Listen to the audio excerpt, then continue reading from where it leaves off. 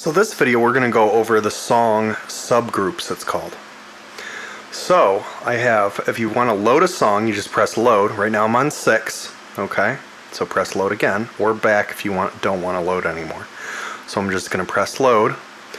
Now we're in song 6. I'm going to press play here.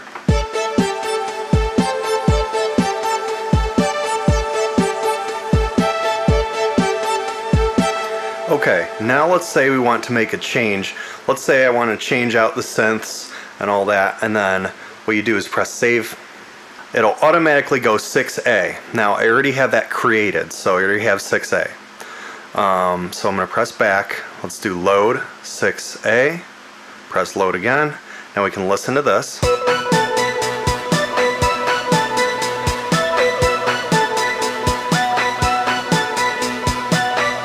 You can I, I did some transitions, I did uh, different synthesizers, different drum kit, all that. So uh, let's go back to 6, press load, okay.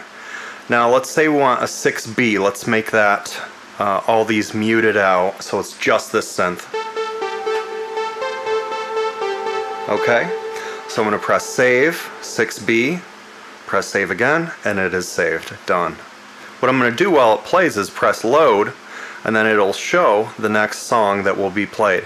Then you press load again and then it'll have number one. You can turn the knob to change how many times it plays before it switches. Okay? So let's just show you what that means. So I'm going to press play. Press load. Let's go to six. Just six. Press load. You'll see one.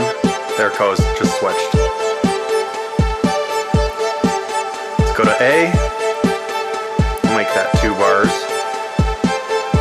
As you see, it counts down.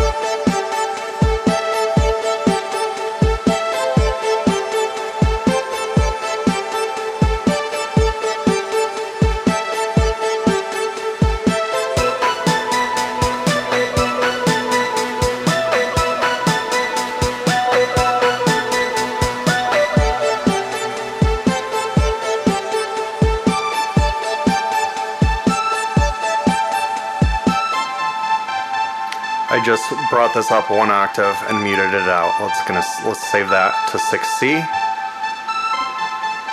That's done.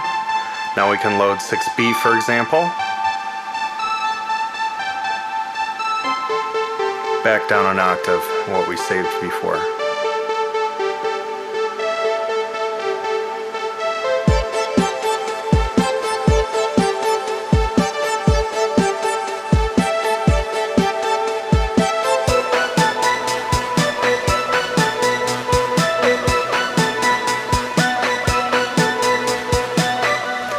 Are subgroups. Uh, you can use this while you're creating to make different uh, save points.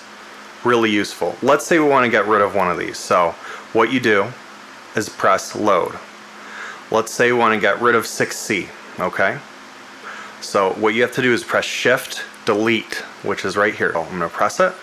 Now it says delete. If want to not delete it, press back. If you do want to delete it, press delete and it's gone now. And now we're back to the load screen and that resets all the way to zero. So I'm just going here, let's go 6B, load, and it's loaded up.